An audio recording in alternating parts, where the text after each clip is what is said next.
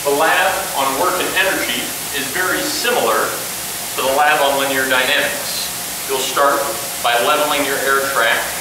You'll have the torsional spring that you calibrated, and you need to make sure that the string coming out of that torsional spring is level with the top of the air track and not rubbing on the entrance hole. Measure the position of the photo gate as you normally have before, looking where the light is just blocked and measuring that rear side. And you'll get one data run where the torsional spring pulls the cart through, catching it on the far side. And then we'll do other data runs where we slightly modify it with a hanging mass. Using a paper clip, attach the string, run the string the length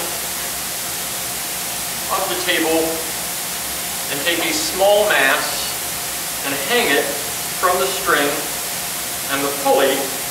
And again, this string, like the torsional spring string, needs to be level with the top of the air track.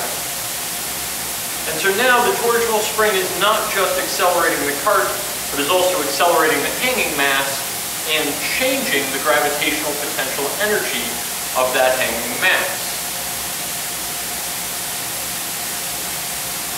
Make sure that the string and mass hanging are stationary so that it doesn't start with any kinetic energy before releasing it. Measure the initial position, use that same position. You'll use the difference between that position and the position of your air track cart or your photo gate when the air track breaks it. Run the LabQuest